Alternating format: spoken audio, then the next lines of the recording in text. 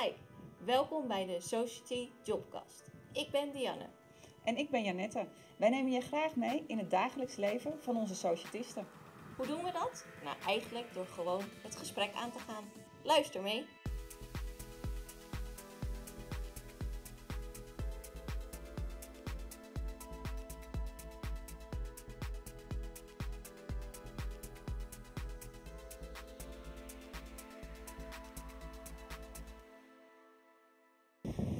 Allemaal bij een nieuwe aflevering van onze Jobcast. Eh, vandaag hebben we Sharone Hendriksen bij ons. Welkom. Dankjewel. Je bent uh, ruim 2,5 jaar societist. Ja. En naast bevlogen test automation engineer ook net moeder geworden van een prachtige Kijk. dochter. Ja. Gefeliciteerd. Dankjewel. Ja, en superleuk dat je vandaag naar onze studio bent gekomen. Uh, we willen je van alles gaan vragen. Uh, maar voordat we dat doen, beginnen we met drie stellingen. Um, dus hier komt de eerste. Oké. Liever een lange opdracht of een korte? Liever lange. En waarom? Uh, omdat je dan toch wel iets meer een band krijgt met je team op de opdracht zelf. Want dat zijn toch de mensen waar je dag in dag uit mee werkt. En als de opdracht heel kort is, ja, dan heb je een beetje het idee dat je... Ja, dan ben je echt een opdracht aan het doen. Terwijl als je wat langere opdracht hebt, dan zit je gewoon bij die klant. En dan eh, voelt meer het toch iets onderdeel fijner. ja. van het geheel. Ja, dan voel je je echt meer onderdeel van het team. En dan werk je samen aan het product in plaats van dat je voor een korte tijd ja, een kleine bijdrage komt doen eigenlijk. Dus dat uh, vind ik leuker. Duidelijk. Uh, de tweede, low-code tools gebruiken voor automatiseren of liever zelf veel coderen? Ja, ik liever zelf. Ik vind de technische kant veel leuker. Dus ik ga ook, uh, als ik een Robot Framework keyword wil maken, dan vind ik het zelfs nog leuker om Python erachter te doen. Dus echt wel de code in. Ja. Leuk. Ja. Echt een techie ben je, hè? Ja. Ja. Uh, en dan de derde, werken op kantoor of thuis? de, daar kan ik niet één antwoord op geven. Ik vind thuiswerken heel fijn, maar één of twee dagen naar kantoor prima. Maar ik zou niet meer fulltime op kantoor willen zitten. Nee. Nee. Het is echt wel een beetje die hybride vorm daarvan. Ja. En hoe is dat nu in de verdeling met uh, je huidige opdracht? Ja, is eigenlijk ook wel op die manier. Ja. Ze hebben daar wel een beetje moeite mee gehad met kiezen van hoe gaan we dat nou inrichten na corona. Want er was best wel veel mensen die graag thuis wilden werken. Maar ze vinden het ook wel heel belangrijk dat mensen op kantoor blijven komen. Dus ze hebben daar echt een, een regel voor gesteld dat je de helft van je tijd eigenlijk op kantoor bent. Ja. En iedereen houdt zich daar meestal wel aan. Dus dat, uh, ja, ja, dat gaat is goed. Ja. Oké, en uh, voor onze luisteraars is het misschien handig om te beginnen bij het begin. We willen natuurlijk graag weten wat jij doet in je werkzame leven. Dus vertel eens, welke rol heb jij binnen Society? Uh, binnen Society ben ik uh, automation engineer. En ik zit nu op een opdracht bij de luchtverkeersleiding Nederland. En daar werken we dus aan het nieuwe systemen voor de luchtverkeersleiding die over een paar jaar, als het goed is, live gaat. En nou ja, we moeten natuurlijk wel zorgen dat het heel goed getest is. En heel veel dingen zijn gewoon ontzettend grote data sources. Dus daar hebben we heel veel automation voor nodig. En dat doe ik dus nu. Oké. En hoe ben je hier gekomen bij Society? Uh, via een kennis eigenlijk. In mijn werk voordat ik bij Society kwam werken, zat ik uh, bij een klein bedrijfje in gebarentaal. En daar deed ik eigenlijk de websites onderhouden en de e-learning en al dat soort dingen. En toen kwam ik er eigenlijk best wel achter dat ik dat heel erg leuk vond. En dat ik ook de technische kant erachter heel leuk vond. En toen zei een oom van uh, mijn toenmalige baas van... hé, hey, ik heb vroeger bij Society gewerkt, volgens mij moet jij gewoon daar zijn. Oh, wat leuk. Dus ja. Die, en als ik mag vragen, wat is jouw opleiding geweest? Ik heb uh, psychologie gestudeerd, maar dat is een hele andere richting. Ja, en ik wilde geen psycholoog worden, dus ik zat eigenlijk een beetje zo van, nou en wat nu? Dus uh, ja, een beetje via via opeens hier terecht gekomen. Ja, maar mooi hoor. En uh, ja, wij komen dat natuurlijk wel, wel vaker ja. tegen, want niet iedereen heeft een IT-gerelateerde opleiding. komt dan in aanraking met IT op het werk Ja. ineens, hè, als ze klaar zijn met school. En dan ja, blijkt ineens toch de vonk zeg maar, over te slaan. Ja. Uh, dus nou ja, wel heel mooi om te horen dat, uh, dat je daar verder in bent uh, gegaan. En Ja. dat je toch de stap hebt genomen naar, naar Society. Ja, Ja. zeker. Ben je ook begonnen met het YP-traject? Ja, ja, dat was een hobbelige start. Want uh, ja, we gingen natuurlijk drie weken naar de business course uh, in Ohio. Alleen dat was precies toen corona begon. Oh, ja. Dus uh, ja, halverwege moesten we terug, terug, naar huis. Dus dat was een beetje een Met een speciale vlucht toch? Lege ja, ja. luchthavens? Ja. Nou, het was een beetje spookachtige stad inderdaad. Want de studenten waren ook helemaal niet daar. Dat was eerst omdat het springbreak was. Maar die waren dus niet teruggekomen vanwege Ohio. Dus het was heel weinig. En er werd steeds meer nieuwe regeltjes natuurlijk. Dus toen was het toch wel handiger dat we gewoon naar huis gehaald werden. Want we wisten natuurlijk niet als we langer zouden wachten of dat dan nog kon. Dus uh, nou, en sindsdien eigenlijk heel veel thuis gewerkt. Ja? Ja, de hele opleiding was dan op, opeens digitaal. Dus iedereen moest eventjes schakelen. Maar, ja, hele omslag. Ja, maar het is eigenlijk wel goed gegaan. We hadden een heel leuk, heel leuk team en leuke docenten die allemaal gewoon best een beetje voorzetten. En dan uh, ja, kom je er wel. Ja. ja. Maar dat is uh, best wel spannend ook, want dan heb je dus je opleidingstrajecten allemaal ja. online. En dan uh, ga je op een gegeven moment ga je ook voor het eerst het geleerde in de praktijk brengen. En dan moet je ook nog eens naar een klant toe. Dat is gewoon, uh, ja. Nou, sterker nog, zelfs dat was online. Oh, dat was in eerste instantie ook online natuurlijk, ja. Ja. ja. het eerste jaar ben ik op geen enkel kantoor geweest, nee. met uitzondering van het begin. Vond je nee. dat lastig? Of? Mm, het viel wel mee omdat iedereen opeens moest wennen aan digitaal werken. Dus ook bij de klant was het in één keer regels van, ja, iedereen zit nu thuis. Dus zelfs die mensen wisten ook niet hoe ze voor een eigen bedrijf aan het werk moesten en hoe ze dat deden. Dus ja, dan moet je ook gewoon daar met elkaar uitvogelen van hoe doen we dat. Ja. Ja. Dus ja, dan heb je dat proces een beetje samen. Dan val je er niet in je eentje in. Ja, ja. dat is ook weer anders. Ja. Ja. ja. Los je het probleem samen op. Ja, ja dat is ook zo. En uh, je hebt deze switch gemaakt. Je oom zei dus misschien is Society iets voor je. En hoe ben je dan tot testautomatisering gekomen? Ja, dat uh, is eigenlijk ook wel een leuk verhaal, denk ik. Ik ben begonnen met gewoon testen. überhaupt toen in de coronatijd mijn eerste opdracht was het een beetje, waren er niet zoveel opdrachten. Dus moest je gewoon een beetje zoeken naar waar kan je dan beginnen. Dus toen ben ik eigenlijk eerst gewoon maar begonnen. Want ik dacht, ja, het is mijn eerste opdracht. Dus maakt ja. me nog niet zo heel veel uit. Laat me maar gewoon aan de slag gaan. Dat was eigenlijk een migratietraject en niet zozeer een testopdracht. En daar hebben we wel een beetje gezorgd dat we er iets testigs van konden maken door een app te bouwen. En dat dan een beetje zo te laten rollen. Om ook eens een beetje achter te komen van, vind je dat nou leuk? En toen kwam ik er eigenlijk al een beetje achter dat ik het niet zo heel erg leuk vond om functioneel dag in dag uit dezelfde testen te doen. Ja. En dat heb ik bij de volgende opdracht toen wel gedaan. En uh, daar ben ik er ook wel een beetje op gaan sturen van, nou, kunnen we dan niet iets gaan automatiseren? Ja. Maar bij die klant was het een beetje lastig budgettechnisch gezien om nou, te zorgen dat we dan die kant op mochten. Dus zodoende ben ik daar op een gegeven moment ook uitgestroomd om dan echt testautomation te gaan doen bij een andere klant waar het wel gewoon al op het programma stond. Ja. En uh, ja, ik weet niet, ik denk dat toch die codekant me daar een beetje naartoe heeft getrokken. Ja. En het is ook gewoon wel dat ik denk van je kunt dan ook, als je heel erg in de automation gedachten zit, zit je ook, kijk je heel goed ook naar van wat doen we wel met de mensen en wat doe je nou wel met de techniek. En ik vind het eigenlijk ook wel heel erg leuk om dat steeds te bekijken. Ja. Dus dan zit je daar een beetje, je helikopterview een beetje boven en een beetje in. Ik zie mezelf ook niet alleen maar achter mijn computer zo allemaal code schrijven. Dus ik zoek een beetje daar de ja, balans in, dat je visie combineert met toch techniek. Ja. Ja. Naast de techniek is denk ik communicatie en Ja. dingen met je teamgenoten of stakeholders afstemmen natuurlijk ook een belangrijk onderdeel van je Ja. rol.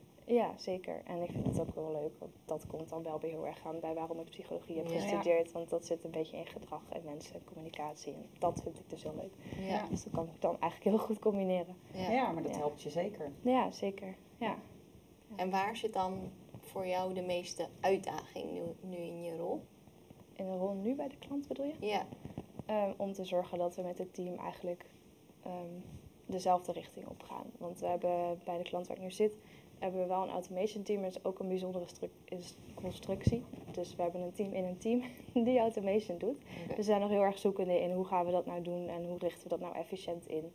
Eh, en daar zijn we eigenlijk als team mee bezig. Maar dat vind ik wel dus de uitdaging om, om die weg te vinden van hoe doen we dat nu en ja. Sturen daarin. Wat is de beste aanpak en hoe neem je de rest daarin mee? ja, precies. Ook dat laatste inderdaad. Want het is natuurlijk niet zo dat er allemaal mensen zitten die al heel vaak automation hebben gedaan. Het is een beetje ook een mengelmoesje van mensen die uit, de, eigenlijk net als ik, uit het functioneel testen komen en wat meer de techniek in wilden. Of mensen die eigenlijk uit het development komen en wat meer juist de testen willen aanpakken. Dus het is ook een beetje een mengelmoesje nu geworden. Ja.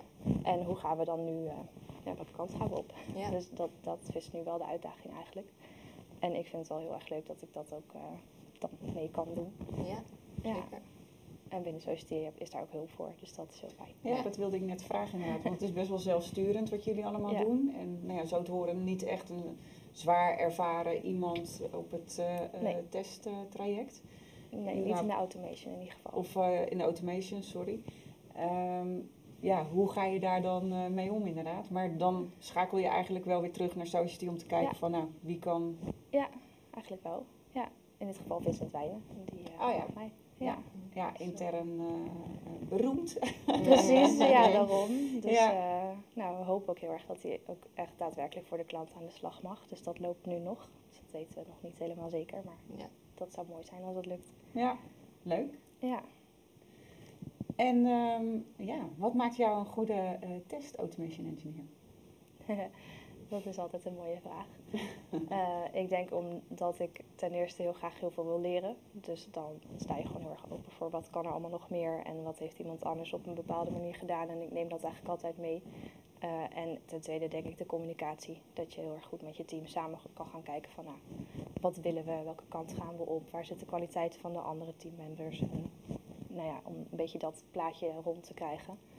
eh, denk ik dat dat wel gaat. En dan in combinatie met dat ik de techniek gewoon heel erg leuk vind. Dus ik bijt me er wel in vast als ze iets niet kunnen vinden. En dan eh, Ja. we het op. Ja. En eh, wij zitten hier nu met drie vrouwen aan tafel. Maar eigenlijk gebeurt het tenminste in mijn ervaring bijna nooit. Eigenlijk is het altijd als je bij, als enige vrouw in een team eh, met de rest eh, mannelijke collega's zit. Ja. Eh, heb jij dat ook? Eh, Dat valt op deze opdracht redelijk mee. In echte automation ben ik nu wel met één andere vrouw samen. En de rest allemaal mannen, maar zij gaat stoppen. Eh, maar binnen het testteam zitten er wel meer vrouwen. En zo bij deze klant is het ook zo dat ze best wel veel aandacht hebben ook voor die verdeling. Dus zelfs in het wat management goed. zorgen ze daar ook echt voor dat er... eh, nou, ze, ze streven naar 50-50. Ik weet niet hoe ver ze inmiddels zijn, maar dat is wel... merk je ook wel op kantoor daar. Oké. Nou, maar ik denk dat ook best wel veel vrouwen toch, ehm, omdat ze het ook niet kennen, hè, natuurlijk. Eh, het klinkt ook best wel, eh, eh, ja, test automation en eh, oh, inderdaad alleen maar codes kloppen of eh, ja, een stukje development. eh, nou ja, en dan kom je al snel uit op de echte nerd, om het maar zo te zeggen. Wat nou, 9 van de 10 keer dan toch een man is. wel in Ehm, de beeldvorming. Ja, in ja, de beeldvorming. In de beeldvorm, ja, oh, sorry, dat bedoelde ik ook belangrijk Ja. detail, sorry. Ehm, ja, hoe, hoe, ehm, hoe kunnen we dat doorbreken? Hoe kunnen we nou daarvoor zorgen dat het meer onder de aandacht komt en ook op de juiste manier inderdaad? Dat het echt niet alleen maar ehm, nou ja, voor de gemiddelde nerd is weggelegd, maar juist wat jij zegt met de communicatie en, eh, en dergelijke. Heb je daar wel eens over nagedacht? Hoe we dat... Ja, ik denk dat je gewoon ten eerste een beetje van dat nerd-imago af moet. En dat doen we denk ik gewoon door als vrouwen dit te doen en het ook gewoon te bespreken met Ja. andere mensen. En Van wat doe je nou eigenlijk, Ja, hè? de mooie dingen van je vak laten zien en Ja. niet alleen maar, oh ja, kijk eens, ik heb een scriptje gebouwd. Want dat is natuurlijk maar een heel klein deel van het werk. Ja. Ja. Dus ja, En wat zijn die mooie dingen dan eh, van het vak? ja ik vind dus het teamwork. Dat je echt met elkaar dingen gaat maken. Niemand doet het alleen. Ja. Dus ja, de ene is beter in Python, de ander net weer iets meer in het framework en vraag hulp en doe het met elkaar en dan kom je er wel. Ja. Dus dat, ja, en ik denk ook wel dat daar, niet een beetje stigmatiseren, maar dat, je dat, dat dat ook wel helpt als je dan wat meer vrouwen in je team hebt. Dan krijg je toch echt wel een andere dynamiek dan alleen met mannen. Ja. Dus dat is ook, eh, Ja, eens. eens. Hey, en wanneer, eh, wat, wat moet er gebeuren op een dag waarvan jij denkt, nou, dit was echt een goede dag voor mij? ja, toch wel als ik stappen heb gemaakt. Ja? Ja, als we net even een doorbraak hebben met iets waar we al heel lang tegenaan lopen wat niet lukt of over een bug die we niet opgelost krijgen. En dat je dan toch in één keer iemand dan iets roept en dan, oh wacht, en dan gaat er zo'n balletje rollen en dan denkt de ander, nee, maar dan moeten we even hier zoeken. En dan nou, komt zo'n ding in één keer, ja, heb je opeens een oplossing en dan, eh, ja, is toch altijd wel een feestje. Ja, Een overwinningsgevoel. Ja, ja. ja, dan heb ik ook echt het gevoel van, nou, nu hebben we echt vandaag wel echt stappen gezet. Ja. Dat, dat is heel fijn. Maar ja, het is niet zo dat als dat niet gebeurt, dat ik dan geen fijne dag heb hoor. Maar als Ja. je zegt van, wat maakt Ja. het dan echt een echt goede dag, dan, zijn Dan is het dat. soort dingen. Ja. Ja. Ja. Leuk. Leuk. Nou, en dit doe je nu eh, eh, twee jaar ongeveer. Ehm, sorry? Tweeënhalf. Tweeënhalf, sorry. Ehm, en wat wil jij de komende tijd eh, op de korte termijn graag nog doen? Op de korte termijn, wat is dan de korte termijn? Nou ja, de eerstkomende twee jaar. Wel jaren. Ja, ik Ja. kan zeggen het kan ook maanden zijn, maar eh, nee, de komende tijd zou ik me wel nog iets meer richting de automation visie willen richten. En dan denk ik ook iets meer nog de consultants zien in, dat je ook klanten gaat helpen van hoe ga je nou opzeg- opzetten. Ja. Maar daarvoor wil ik het wel eerst zelf heel goed gedaan hebben en daar wat meer ervaring in hebben. En dan eh, wil ik daar wel naartoe doorgroeien. Dus dat is wel een speerpunt op dit moment. Ja. Mooi. En heb je ook al een plan hoe je daar naartoe wil groeien, gaan? Ja, door het eerst om deze opdracht goed voor elkaar te hebben. en, dan, en dan neem ik dat, die kennis natuurlijk altijd mee naar een volgende opdracht. En dan eh, vanuit daar denk ik dat het hard kan gaan. Ja. Je weet het maar nooit. Dus het is maar net ook wat er voor wat op je pad komt. Op het moment dat je uit een opdracht komt. En dan wat ligt er, waar, waar is er noodzaak aan en waar kan je dan nou, tussenkomen of niet. Dus Ja. ja dat, daar hangt natuurlijk ook altijd een beetje vanaf. Hey, en eh, voor andere mensen hè, die misschien uit een heel ander vakgebied komen, net als jij, eh, en misschien ook wel de stap naar IT overwegen, wat zou jouw advies zijn aan die mensen? gewoon doen. ik kom eens gewoon praten, weet je, met iemand die het doet. Of bij Society, er zijn ook heel veel leuke recruiters die heel veel kunnen vertellen over wat er kan. En eh ga het gewoon doen. Ja. ja. Ja, dat is echt een andere route, denk ik. Nee. Ja. Nou ja, inderdaad, eerst praten en uitzoeken van is het wat voor mij. Ja. En, eh, ja. ja, en op een gegeven moment ja, moet je het gewoon gaan doen, inderdaad. Anders Ja. weet je nooit of je het, eh, eh, of je het leuk vindt. Nee. Maar ik vind het wel mooi om te zien dat jij echt wel voor nou ja, het meer technische gedeelte ook gekozen hebt. Want nou ja, het testvak heeft natuurlijk veel meer dan alleen maar test automation. Ja. Dus ik vind het wel ja, heel mooi hoe je vanuit je vooropleiding hierin bent gegaan en zo, zo verder bent gegaan. Want nou, het is toch best snel, eh, snel gegaan Ja, in Ja. deze periode. Ja. Ja. Nou, je wil dus verder eh, in die test automation eh, de komende eh, twee jaar. Heb je ook al iets van, nou, ik wil over, eh, over vijf jaar of eh, nou, misschien heb je er nog langer over nagedacht. Maar heb je zoiets van, nou, dat is echt wel waar ik helemaal wil zijn? eh? Nee, dat heb ik eigenlijk nog niet zo. Ik wil niet zo ver voor uitkijken, want ik kan nu het ene zeggen en volgend jaar denk ik, oh, dan heb je een jaar iets anders gedaan. En dan denk je, ik wil toch liever dit of liever dat. Korte termijn vind ik altijd wel leuk om een beetje een stip op de horizon te zetten. Maar voor daarna weet ik het eigenlijk nog niet zo. Nee, ja, je weet ook inderdaad niet wat je tegenkomt. Dus dan kan je Nee, ook... Vijf ja. jaar geleden dacht je waarschijnlijk niet dat je Had hier zou staan. dat ik überhaupt Eh, iets met nee. iets zou leuk zou vinden. Dus eh, nee. Ja, klopt. zo gaat dat. Ja. Ja. En zijn er dingen waar iemand, eh, waarvan jij zegt van, eh, hè, want we hebben het er net over gehad om mensen te stimuleren, eh, echt die, eh, die test automation eh, in te gaan. Eh, maar zijn er ook zaken van, nou ja, hè, eh, waardoor je het iemand zou afraden misschien? Van, nou ja, als je echt daarop gefocust bent, dan beter niet? Of, Ja, het ligt er een beetje inderdaad aan wat je zou willen. Als je binnen het testvak kijkt, zijn er natuurlijk best wel veel aspecten die je zou kunnen aanpakken. En in heel veel opdrachten zijn er ook meerdere aspecten. En je, ik merk ook bij mij in team wel dat mensen, ook als ze in automation zitten, ze bijvoorbeeld net even iets meer affiniteit voor load en performance. Dan, dan zoeken ze ook een beetje dat hoekje op. Dus alle taakjes die dan in die richting komen, die pakt zo iemand op. En de ander een beetje de andere richting. Dus ja, om te zeggen wa- wanneer moet je het niet doen, ja, als je het niet voelt, denk ik. Als je liever gewoon het functioneel testen doet, want dat is ook gewoon heel belangrijk. Het is echt kiezen. Ja. Wat- Wat vind je leuk? Als je het niet leuk vindt om eh, met Robot Framework testcases aan elkaar te plakken, dan moet je niet met Robot Framework gaan werken. Als je iets meer low-code zou willen, van de stelling aan het begin, ja, kies dan een low-code tool en ga dan Ja. daar richting die kant. en die Ja. keuzes, die kan je dus inderdaad ja, allemaal die zijn maken. er genoeg. Ja. Ja. En daar moet je het denk ik gewoon gaan doen. Want als je, als je het doet, dan merk je pas wat je wel of niet leuk vindt. En dan opent die wereld zich ook in één keer van, oh, dit is er ook. En dit is er ook. En oh, hé, hey, jij doet toch een beetje meer net even iets Ja. anders. En nou, dan leer je ook gewoon veel meer van, wat wil je nou eigenlijk? Ja, ik denk niet alleen als we naar onze community kijken van Nee. test automation heb je natuurlijk zoveel verschillende, net Ja. andere insteek of net andere focus.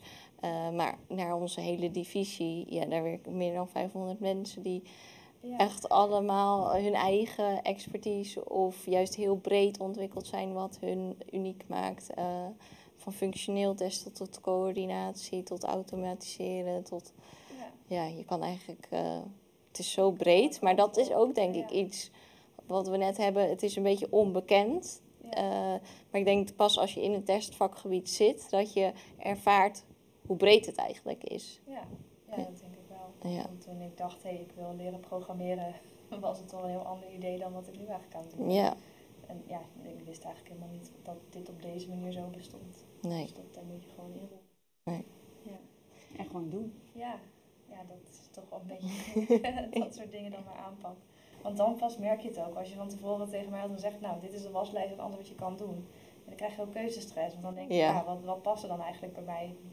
Dat lukt dan niet. Ja, maar daarom vond ik wel mooi wat je net zegt van nou, hè, kijk gewoon stap voor stap. Ja. Eigenlijk, eh, nou, vind ik dit leuk, voelt het goed? Ja, Ja. dan eh, nou ja, de volgende stap en zo niet. Ja, Ja, dan, dan kijk je gewoon eh, eh, naar, naar iets anders. Ja. ja, ja dat denk ik wel. En eh, je zei net, naast de techniek vind je heel interessant hoe je team samenwerkt. Ja. Werk je dan nu ook volgens een bepaalde methodiek, agile of DevOps? Of eh, hoe is Ja. dat nu in je huidige team? Ja, in mijn huidige team is het nog een beetje sturen, omdat we dus dat automation team binnen eigenlijk een testteam nu hebben. Ja, Het testteam werkt heel erg agile met Scrum. En dat proberen we nu met het automation team ook. Maar sommige taken die lenen zich wel wat meer voor Kanban. Dus het is nu nog een beetje zoeken van hoe gaan we het eigenlijk doen. We doen het nu eigenlijk Scrum, maar niet volgens alle regeltjes. Dus we hebben wel Ja. een beetje aanpassingen gedaan, hoe dat het voor ons nu in ieder geval het beste werkt. ja, Eh, maar ja, we hebben wel gewoon elke dag een daily stun. ja. En als je kijkt eh, naar jouw rol in een team, wat, wat is de rol die jij eh, oppakt? Want binnen DevOps heb je dan, we noemen ze vier rollen. Meer delegerend, steunend, eh, leidend of meer begeleidend. Waar zou jij jezelf dan zien? Ja, op dit moment denk ik een beetje sturend en steunend tegelijkertijd. Dus niet in ons team nu echt een leider. En dat komt ook omdat iedereen een beetje van losse plekken afkomt. En ik wil ook automation doen. Oké, dan gaan we dat erin rollen. Dus iedereen komt een beetje... Het is, het is nu echt nog een beetje een mengelmoesje. Eh, en je hebt ook te maken met interne en externe mensen in het team. Dus dan is het ook wel voor de klant wel fijner dat degene die ook meer leider is, dat dat een intern persoon is. Want Ja. ja, die externe die kun je zomaar wel een moment kwijtraken. Dus dat, het is een beetje, ja, hoe doen we dat dan? Maar ik heb wel het idee dat ik in, op dit moment in mijn rol wel degene ben die elke keer een beetje roept van, we doen nu dit, is dat handig, wat vinden we hiervan? En Ja. oké, misschien kunnen we het ook zo doen, wat vindt de rest daarvan? Weet je iedereen uit de, de details en ja. op de helikopterview beetje trekken van... Ja, dat probeer ik in ieder geval. Ja, En ook gewoon dat je kijkt naar je teamleden van als je ziet dat iemand aan het struggelen is, niet iedereen vindt even makkelijk om hulp te vragen. Dat je dat dan even aanbiedt en zegt van nou, zullen we het even samen doen. Want dat wordt vaak heel erg gewaardeerd. En dat helpt dan ook wel weer de motivatie van je team de goede kant. op. ja. Daar is de psycholoog. Ja. Wel, ja precies. Dus zo zijpelt het toch een beetje eh, door het werk heen. Ja, Ja. maar superleuk. Ja. ja, ja, zeker. Ja. Ja. Ja, nou ja, de, de tijd zit er inmiddels eh, weer, eh, weer op. Dus ehm, Heel erg bedankt voor dit gesprek bedankt. en je Ja. openheid. En een kijkje eigenlijk in jouw society leven. Ja, nou. Ja. Gezellig te zijn. Ja, Dankjewel. dankjewel. En tot snel. Vond je dit gesprek ook zo snel gaan? Beluister dan gerust ook onze andere afleveringen van deze Jobcast. En heb je vragen over Society of het testvakgebied? Stuur ons dan vooral een berichtje via de Society website.